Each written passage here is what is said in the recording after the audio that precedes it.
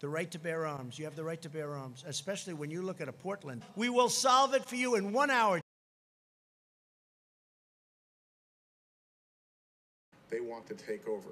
They want power. Your family will not be safe. Need water? Seriously. Guys to our right, you need water. We need water.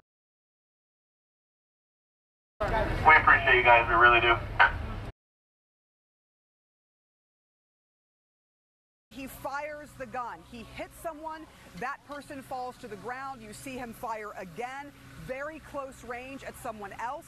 The Police are coming towards him. He has his rifle, his long gun strapped across his chest.